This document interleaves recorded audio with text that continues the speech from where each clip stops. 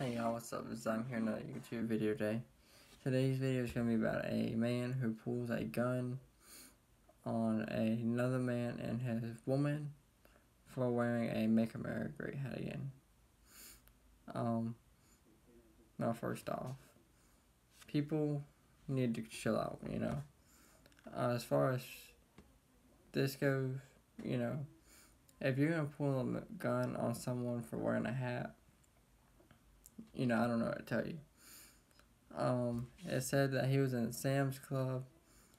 Uh, his wife had said that someone was making threatening moves towards her.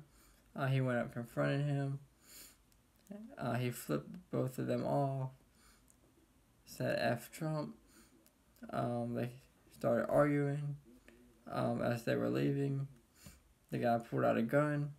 Um, said it was a good day for him to die uh, backed up, pointing a gun at his head. Uh, thankfully, no one got injured or shot. Um, he was taken into custody by police. Uh, like I said, though, yeah, if you're gonna shoot someone over a hat, you know, an inanimate object, okay, people get mad over inanimate objects. It's freedom of speech. He can wear whatever hat he wants. You know, um, Obama has all kind of stuff. People don't be making threatening moves. Um, Trump has all kind of stuff. It's a hat.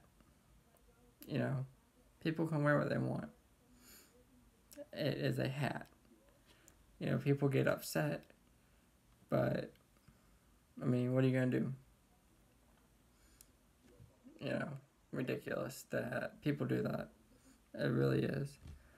Um, but let me know what you guys think in the comments below. Uh, if you agree with me, if you disagree with me, why. And sorry about my voice. Uh, got a cold. Uh, but let me know what you guys think in the comments below.